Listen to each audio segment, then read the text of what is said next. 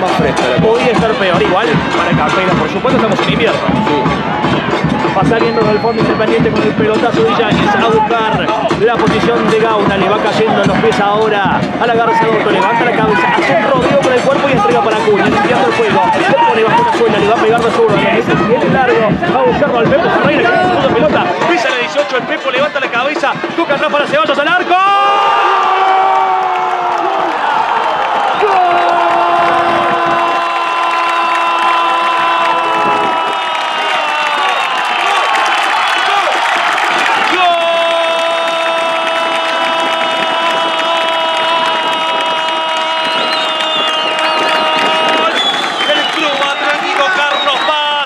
Ezequiel Ceballos,